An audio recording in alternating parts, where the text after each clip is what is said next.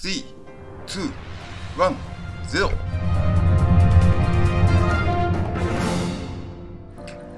012月12日の朝、おはようございます。今日も世界一昆布が好きやから、昆布屋やってます店長の松下幸一郎が皆様の料理の味を劇的に美味しくできるお手伝いができるように頑張ってます。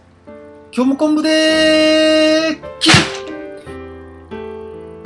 12月12日。今日はバッテリーの日だそうです。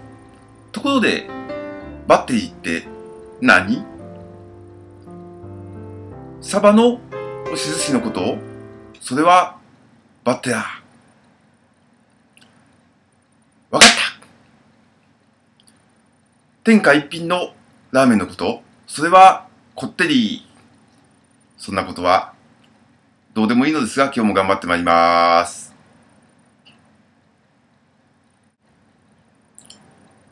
ボリューム満点の太巻き、昆布巻きが売れてます。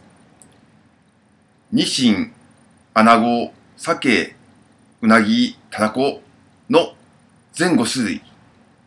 昆布巻きはお任せください。冷ややっこ乾燥塩昆布のせ。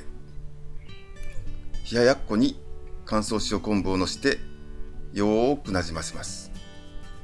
塩昆布が柔らかくなってきたところでやっこと一緒に食べるととっても美味しいです。素晴らしいお酒のおつまみになります。乾燥塩昆布トッピングやってみませんか？店長まっちゃんまたおみくじ大吉出るまで引き続けてる。ちょっと恥ずかしいぞ。